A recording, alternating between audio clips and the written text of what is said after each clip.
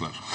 Muito obrigado, Sr. Deputado. Uh, Deixe-me fazer uma, um breve resumo que o senhor saberá tão bem quanto eu da, do, dos, dos, componentes uh, que são importantes para a transição digital.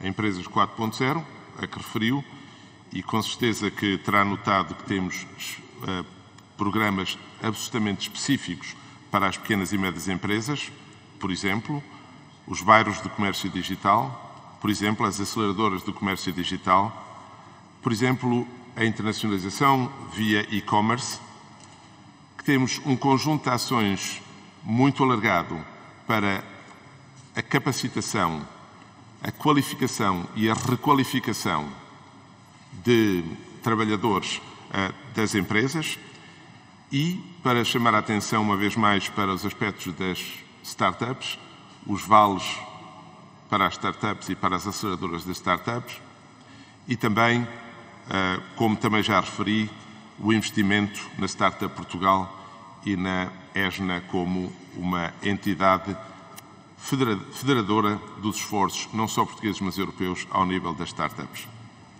Mas reconhecerá com certeza que no componente 17, qualidade das finanças públicas, ou na justiça económica e ambientes de negócios, mais investimento é feito juntamente ou para beneficiar diretamente as, as entidades privadas. Em particular, por exemplo, no ambiente de negócios, nem só os investimentos são relevantes, mas também os quadros regulamentares que removam dificuldades à atração de capital, quer nacional, quer internacional, podem ser muito importantes para o tecido económico. É verdade que na administração pública temos um investimento de 578 milhões, mas com certeza que saberá que a maior parte desse investimento é feito através de concursos por empresas privadas. Ou seja, ainda que o objetivo seja melhorar a administração pública e torná-la mais eficiente, o esforço que é pedido para, transformar os objetivos estratégicos em realidades passa precisamente pela utilização dos serviços das empresas privadas que operam, nomeadamente na área do digital.